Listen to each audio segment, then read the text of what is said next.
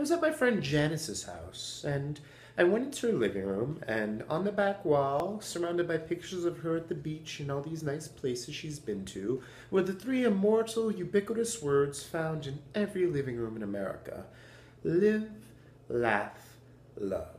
Oh, what a positive message, isn't it? Always go through life living, laughing, and loving, and you'll be okay. But is it always appropriate? Really? Is it always appropriate? If I'm watching 12 Years a Slave, should I remind myself to live, laugh, love? Should I go, oh, slavery? Oh. No, no, I really shouldn't. And while we're at it, why all these alliterative messages telling me what to do? I don't put pee, poop, pamper in the bathroom. I don't put sleep, sex, snore in the bedroom. I don't put food, feast, fucking in the kitchen because I like to procreate in the kitchen. But that's not something I should force on you.